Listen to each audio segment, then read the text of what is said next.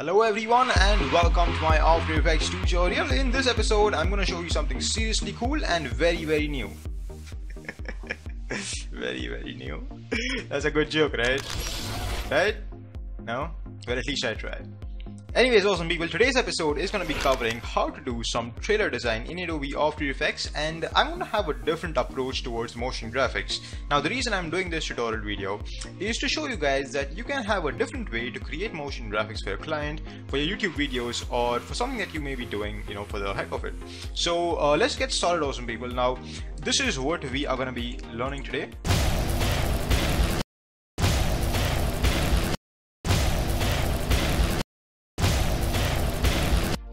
And awesome people, this is going to be an epic video because again, you know, a different approach towards motion graphics. And uh, before getting started with the tutorial video, I want to introduce you guys to a very cool website called cgtextures.com. Awesome people, this is an amazing website. They have tons and tons of images of different things. For example, awesome people, they have images of skulls, right? Skulls, bones, bones and skulls everywhere.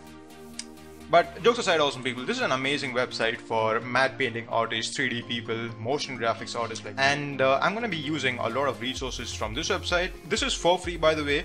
Uh, you can use these images commercially uh, on your projects and you don't have to uh, you know pay them and you won't get into any sort of problem so uh, I, I'm going to be using a few images uh, from them. For example, uh, what I would like you guys to do, if you, if you want to follow along with me, would be to go to CG Textures and get some icy images like this. Now you can type broken eyes. The, the reason why I'm not giving you links to download this is because they have tons of images and you can, you know, just you, using different images create something very cool and very different uh, from mine. So uh, yeah, so again, you know, do that. And uh, these are the images that I was able to get from them and using this awesome people I was able to create this motion graphic.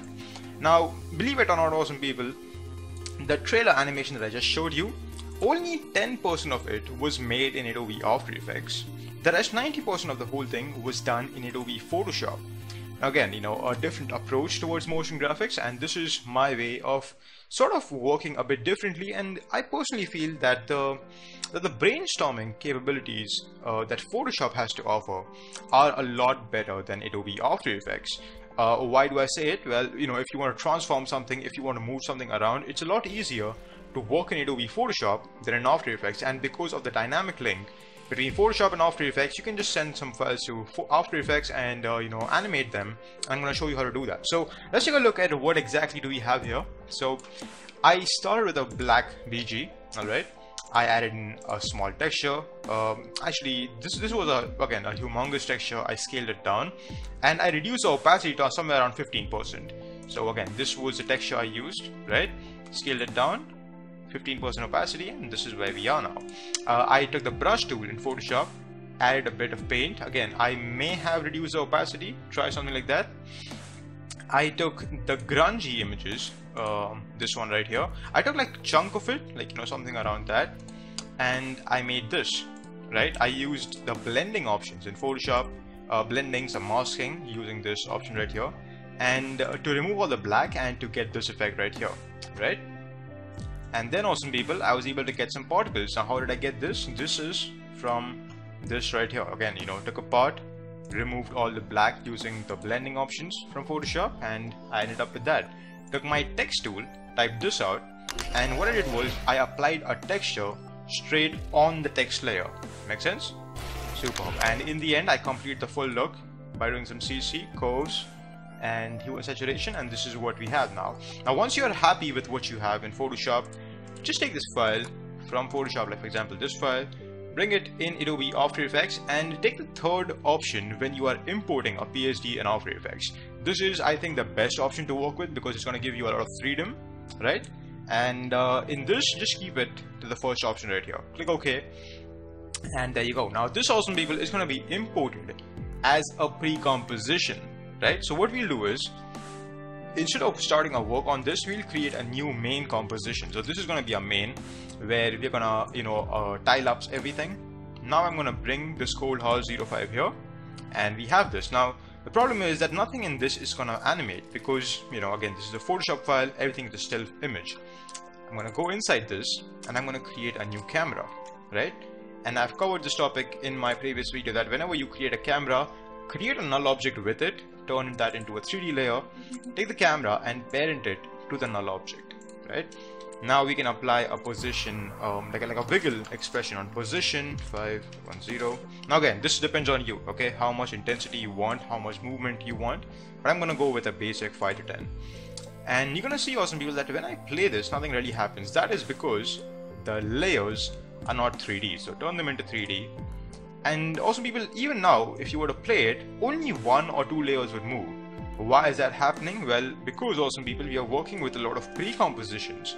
So what we'll have to do is we'll have to go inside them and turn all of them layer, uh, layers to 3D right? Make sense?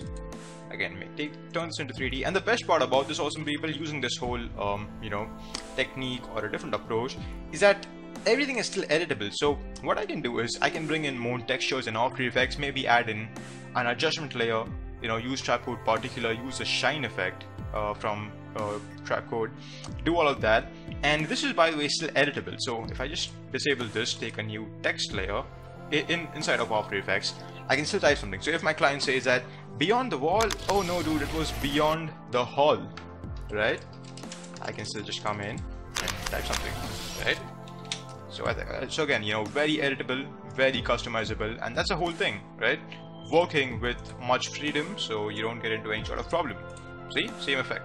So uh, I, I think this is epic and turn all of them into 3D and I think we are good to go. CC just for the heck of it we'll even turn them into 3D now if I was to play this, you can see the whole thing moves. Now the only uh, effect that we are missing is a bit of uh, movement in our text layer. So I'll just do a scale animation real quick.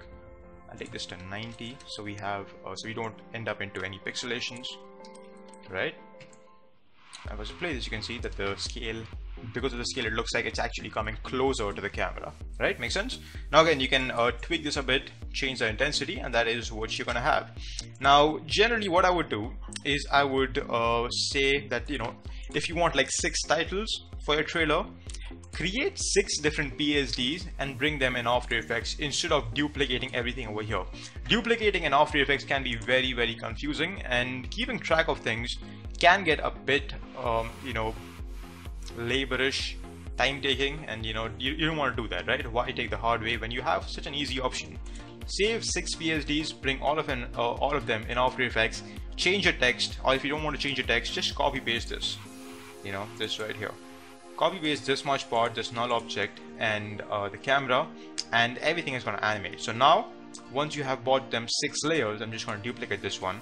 Say you bought all of this just bring them in your main and move them around like that right? Make sense? Now again since I've duplicated all of this in After Effects the text is not going to change so it's still going to be beyond the hall beyond the hall beyond the hall beyond the hall. But if you do six times this in six different PSDs you can change the text layer.